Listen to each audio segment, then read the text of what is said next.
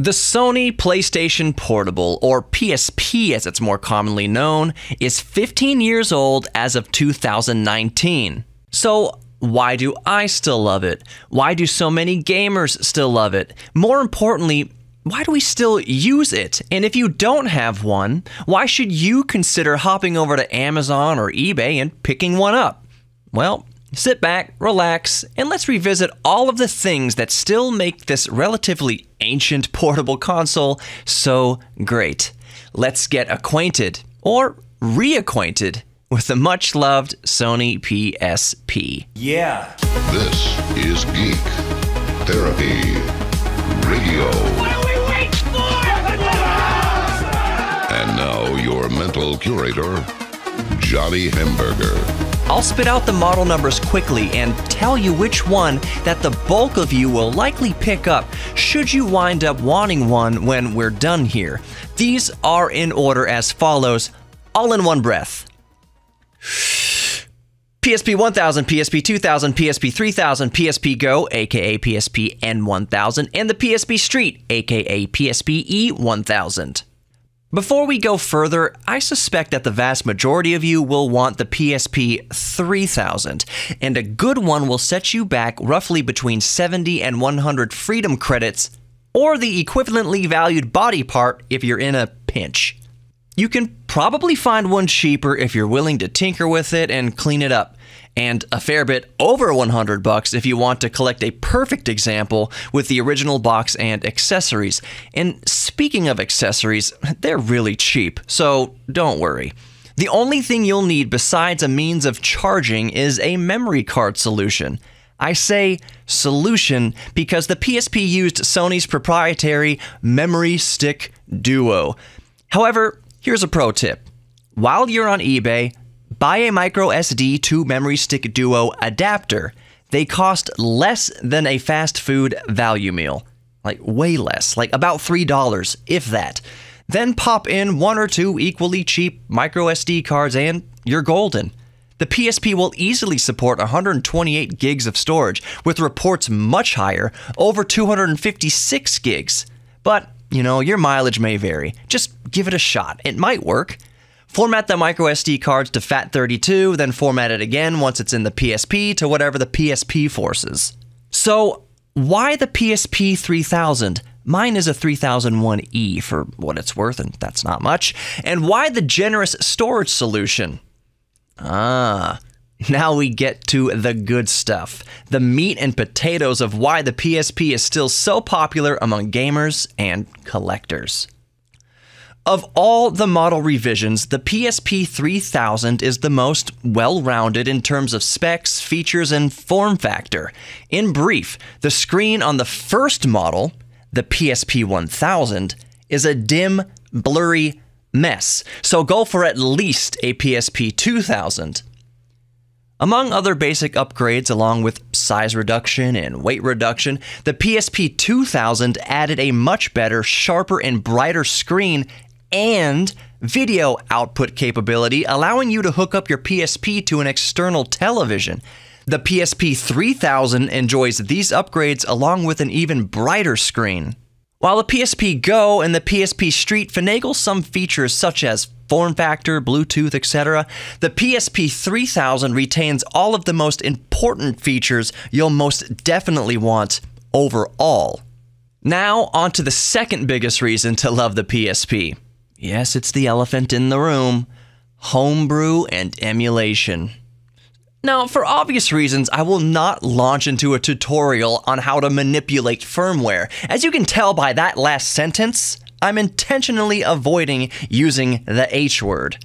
All I will say is that the solution has been well documented since even the dawn of YouTube. My tutorial would then be just the 5 millionth posted online. I'm convinced that the internet in total is comprised of 90% adult content, 8% cat memes, and 3% PSP homebrew tutorials. Yes, that adds up to 101%, but that extra 1% spills over into the real world, manifesting as glitches, such as deja vu and Chick fil A being closed on Sundays. All you really need to know is that you can play every beloved 8 bit game from any console pretty much ever, and most 16 bit titles will run smoothly. In fact, about 90% of Sega Genesis games will run at full speed with no frame drops. Tougher titles for the SNES, like Donkey Kong Country or any game that uses the Super FX chip, will see slowdowns, and some considerable. Yoshi's Island is playable, for instance, if you're willing to adjust frame skip or live with a little choppiness. Game Boy games are a joy, and Game Boy Advance games run a treat. So, in addition to emulation, you can store your favorite PSP games on the memory stick instead of carrying around a bunch of proprietary UMD game discs. Quick side note some custom firmware even allows you to fiddle with the CPU speed both in the menu system and in games. So, games that were designed to run at the stock 222 MHz can, mm, for lack of a better description, be overclocked to run at 333 MHz, helping smooth out some frame rates and load times here and there, of course within reasonable expectation. Similarly, less intensive titles can theoretically be underclocked, saving a little battery life. So that's nice. Okay, so at this point, I know what some of you are thinking. You can emulate PSP games on your tablet and smartphone, along with all the other mentioned 8 bit and 16 bit games, even games from the 64 bit era. Well, of course, that is certainly true, and I myself adore my own little ultra portable gaming setup. There are considerable drawbacks. First and foremost, since we're talking about handheld gaming, your computer will easily run PSP titles. You still need an incredibly powerful, aka expensive, smartphone or tablet to run PSP emulation smoothly. Heck, the latest $1,200 flagship smartphones can still struggle with God of War, whereas an $80 PSP will run it flawlessly on its own native hardware. Which brings me to the PSP's coup de grace physical controls. Almost any physical controls will destroy the experience of rubbing on a screen. That said, some physical controls still compromise in one aspect or another. For instance, while pairing an Xbox One S or Sony Sixaxis controller to your tablet or smartphone offers almost snobbishly perfect controls, the controller itself is still bulky to carry around. The mini controller I keep with me in my pocket at all times is ideal for go anywhere portability, but severely lacks in ergonomics for bigger hands.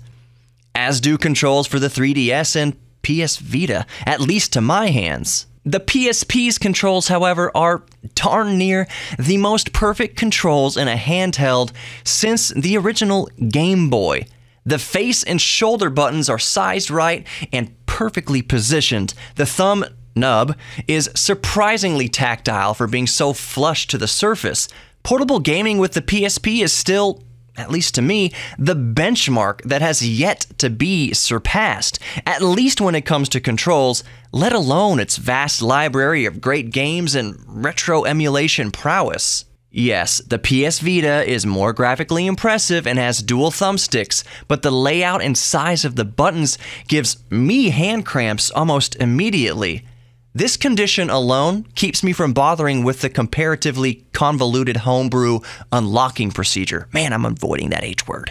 So, for portable gaming, the screen, physical controls, game library, and vast emulation compatibility make the PSP, all things considered, hard to beat even in 2019, if not almost impossible. Now look, let me just let me put it this way. Any portable gaming solution you choose will come with compromises, and of course, the PSP is no different.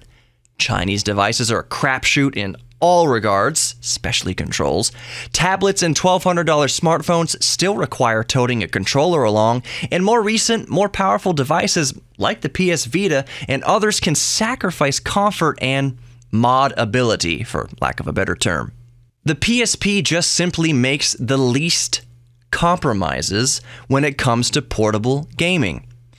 So, to start wrapping this up, I'll share a dream of mine I've had for years. The PSP is just as big as, modern smartphones, if not a hair smaller in some cases. If the PSP came with a touchscreen and a cellular antenna to make phone calls, it would be the most perfect portable gaming device ever conceived.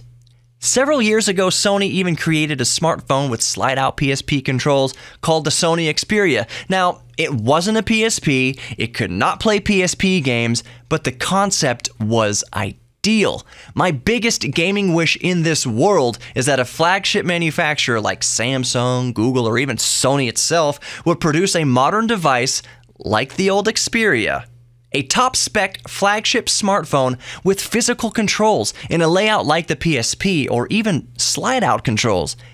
Gamers already buy smartphones. So why not capture a gargantuan segment of the gamer market and sell them such a device? Such a device would literally be a game changer.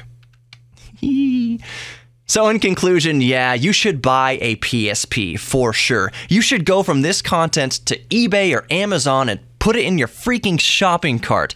It is an absolute joy to game on and to own. If you're a gamer, do yourself the favor of owning a PSP if you haven't already. If you do own a PSP, grab it out of the drawer, charge it up, and fall in love with it all over again. So take care, everybody. Lean into your geek thing and know that you are worthy of love and happiness despite the internal or external voices lying to you otherwise.